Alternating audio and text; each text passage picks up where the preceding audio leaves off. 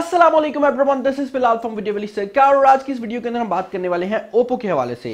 अब अगर आप लोग मोबाइल फोन्स को यूज़ करते हैं या कभी भी मार्केट में गए होंगे तो आप लोग ओप्पो के ब्रांड से ज़रूर वाकिफ होंगे। और अगर आप लोग नहीं है तो मुझे नहीं पता इसके पीछे रीजन क्या है, क्योंकि ओप्पो इस टाइम टॉप फाइव जो मैन्युफैक्चरर्स है पूरी दुनिया में, उनमें चौथे नंबर के ऊपर आता है। ओप्पो के मोबाइल फोन्स जब भी हम सोचते हैं कि किस तरह के होंगे तो हमारे दिमाग में कुछ इस तरह का मोबाइल फ़ोन आता है। जिसके बैक साइड पर आपको एक कैमरा मिलेगा जो कि काफ़ी हद तक आईफोन के डिज़ाइन से कॉपी है। और उसके अलावा ओप्पो का नॉर्मली जो मोबाइल फ़ोन होता है, वो मार्केट के दूसरे फ़ोन की नस्बत ज़रा महँगा भी होता है। तो हम लोग नॉर्मली ओप्पो को एक बुरा ब्रांड समझ रहे होते हैं। लेकिन आज की इस वीडियो के अंदर मैं आप लोगों को ओप्पो के रिलेटेड कुछ ऐसे फैक्ट्स और फिगर्स बताऊँगा जो कि शायद ओप्पो के रिलेटेड आपका जो ओपिनियन है वो चेंज कर दें। अब इसका मतलब ये नहीं है कि मैं ओप्पो को सपोर्ट कर रहा हूँ। ओप्पो के मोबाइल फोन्स जो है, मुझे भी पर्सनली पसंद नहीं है। लेकिन आज की इस वीडियो के अंदर मैं आप लोगों को बताऊँगा कि आखिर इसके पीछे रीजन क्या है। ओप्पो के रिलेटेड सबसे इंटरेस्टिंग फैक्ट जो कि आज मैं आप लोगों को बताने वाला हूँ, वो ये है कि ओप्पो, वीवो और वन प्लस असल में एक ही कंपनी है।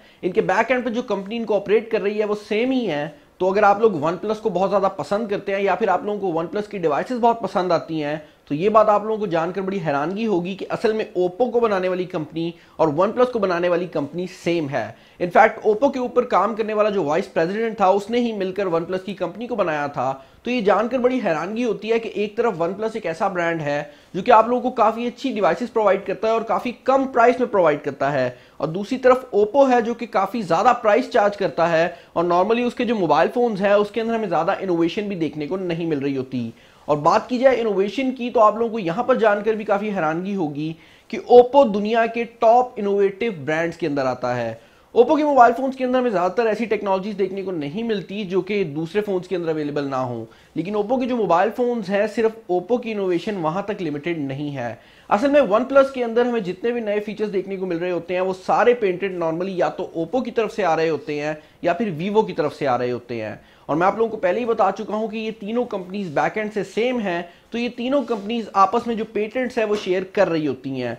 तो फॉर एग्ज़ाम्पल अगर आप लोग डैश चार्जिंग की बात करते हैं, जिसको हर एक बंदा ये कहता है कि शायद ये दुनिया की सबसे तेज टेक्नोलॉजी है, जिससे कोई भी मोबाइल फ़ोन चार्ज किया जा सकता है तो असल में जो डैश चार्जिंग का पेटेंट है, वो ओप्पो के पास अवेलेबल है और इसको डेवलप भी ओप्पो नहीं किया था।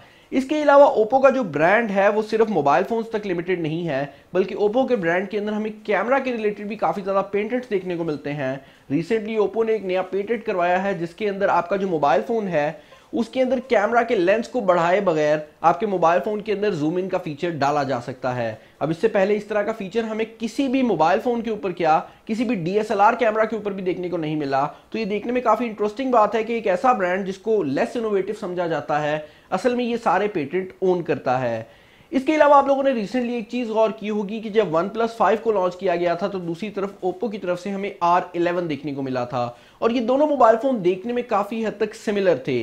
उसके पीछे रीजन ये है कि असल में ये दोनों मोबाइल फ़ोन एक ही प्लांट के ऊपर बन रहे हैं। इसके पीछे जो काम करने वाली टीम है, वो सेम है। और ओवरऑल जो कंपनी इन दोनों मोबाइल फ़ोन को बना रही है वो भी एक ही है। तो फिर क्या रीजन है कि ओप्पो के मोबाइल फ़ोन महँगे होते हैं और वन प्लस के मोबाइल फ़ोन सस्ते होते हैं? वेल इसके पीछे रीजन बड़ी सिंपल सी है, जिसको हम कहते हैं नीच ऑडियंस ओप्पो के पीछे जो कंपनी है, वो नीच के ऊपर टारगेट करती है। वो कुछ खास ग्रुप ऑफ़ पीपल को टारगेट करती है और उनके लिए ही मोबाइल फ़ोन बनाने की कोशिश करती है। तो जब आप ओप्पो के मोबाइल फोन्स देखेंगे तो इनका जो मेन फोकस है, वो हमेशा सेल्फीज के ऊपर होगा। आप ओप्पो का कोई भी मोबाइल फ़ोन उठाकर देख लें, वो जितना भी घटिया हो, उसके अंदर जो कैमरा की क्वालिटी है, वो आपको नॉर्मली दूसरे फोन्स की नस्बत बेहतर मिलेगी। जबकि अगर आप वन प्लस की बात करते हैं तो वन प्लस का जो मेन फोकस है वो ऐसे मोबाइल फोन्स बनाने के ऊपर है, जिसके अंदर आपको फ्लैगशिप स्पेसिफिकेशन मिले और उसके साथ साथ आपको जो प्राइस है वो कम देखने को मिले।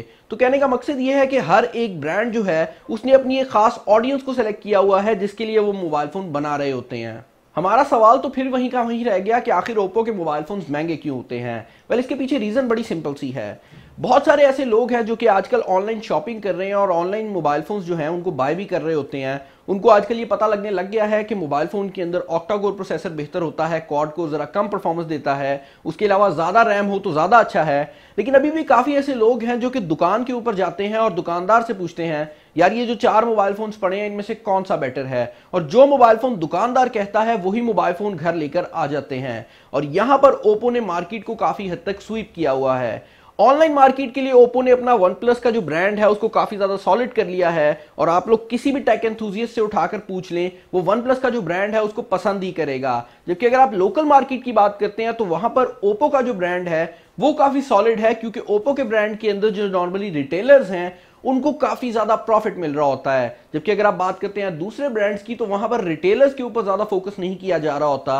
और यही वजह है कि अगर आप किसी दुकानदार से पूछेंगे कि आपको कौन सा मोबाइल फ़ोन बाय करना चाहिए तो वो जो पहला मोबाइल फ़ोन आपके सामने रखेगा, वो ओप्पो का ही होगा। रिसेंटली आप लोग ये बात जानते हैं कि वीवो जो कि ओप्पो की ही एक कंपनी है, उसने एक मोबाइल फ़ोन को लॉन्च किया था, जिसके अंदर दुनिया का पहला फिंगरप्रिंट सेंसर स्क्रीन के अंदर लगाया गया था। और अब ये काफ़ी हद तक चांसेस हैं कि आने वाला जो वन प्लस का फ़ोन होगा, उसके अंदर हमें यही सेम टेक्नोलॉजी देखने को मिलेगी, क्योंकि इसका जो पेटेंट है, वो तीनों कंपनीज़ के अंदर शेयर हो रहा होगा और ये जो मोबाइल फोन्स हैं, हमें तीनों कंपनीज़ की तरफ़ से देखने को मिलेंगे। इसके अलावा आप लोग जानते हैं कि वन प्लस फाइव टी को लॉन्च किया गया था, जिसके अंदर फेशियल रिकॉग्निशन थी, और आजकल अगर आप मार्केट के अंदर ओप्पो की डिवाइसेस को उठाकर देखें तो उनमें से ज़्यादातर डिवाइसेस ऐसी होंगी, जिनके अंदर फेशियल रिकॉग्निशन की जो टेक्नोलॉजी है, उसको इंक्लूड कर दिया गया है, क्योंकि जो ओप्पो का ब्रांड है, वो बैक एंड से वन से लिंक्ड है।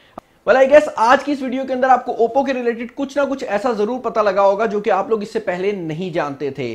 और मुझे उम्मीद है कि शायद ओप्पो के रिलेटेड आपके जो ओपिनियंस हैं, वो भी किसी हद तक चेंज हो गए हों। लेकिन मुझे कमेंट सेक्शन में बताइएगा कि आप लोग क्या सोचते हैं कि ये जो ब्रांड्स हैं, ये लोगों को इस तरह जो मैनुपलेट करते हैं, क्या इन्हें करना चाहिए या नहीं करना चाहिए?